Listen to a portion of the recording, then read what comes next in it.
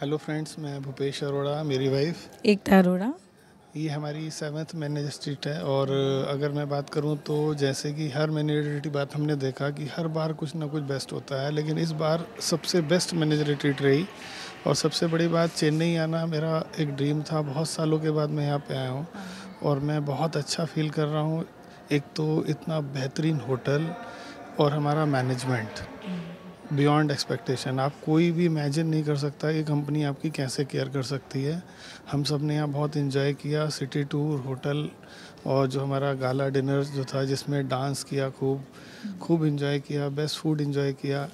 और अगर मैं अपनी बात बताऊँ तो मैं बहुत हाईली क्वालिफाइड नहीं हूँ बट इस कंपनी की वजह से मैं इतना अच्छा लाइफस्टाइल मेंटेन कर पा रहा हूँ और ये ऐसी ज़िंदगी जी पा रहा हूँ। और मैं इस बात का आपको विश्वास दिलाता हूँ, आप में से हर व्यक्ति के अंदर ये पोटेंशियल है कि वो इस तरीके के काम को अपनाए फॉर को अपनाए और अपनी ज़िंदगी को कम्प्लीटली चेंज करे।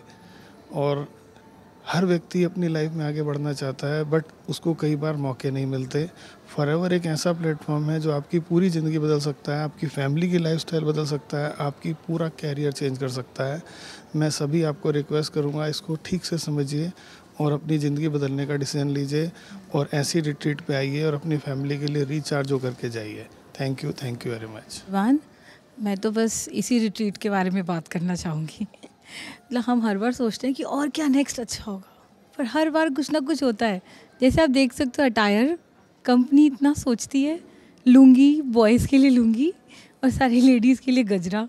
सब कुछ मतलब आते ही इट वॉज़ टोटली प्लान्ड कितना अच्छा डांस शोज़ हुए कहाँ कहाँ से इकट्ठे करके आर्टिस्ट लाती है कंपनी सबसे best food everything the arrangement was very good the hotel was very good the rooms were tremendously arranged and seriously I am telling you कि हर बार एक नया चीज़, एक नया एक्टिविटी एवरी टाइम कंपनी सोचती है.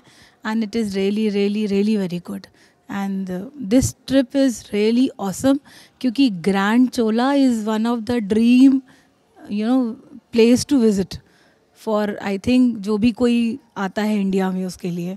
So this is a great dream that comes true जब हम यहाँ आए तो हम बहुत ज़्यादा एक्साइटेड है और जब हम यहाँ से जाएँगे तो हम और भी ज़्यादा एक्साइटेडली जाएँगे.